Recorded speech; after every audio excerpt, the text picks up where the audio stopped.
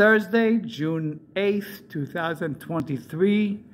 We are in a place called the Petra Moon Luxury Hotel in Wadi Musa, which is the entrance to Petra. This is our lovely bathroom. Okay. And let me close the door. Here I am. Let me close the door.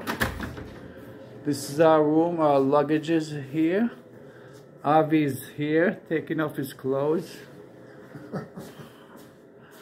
Two beds, nicely made.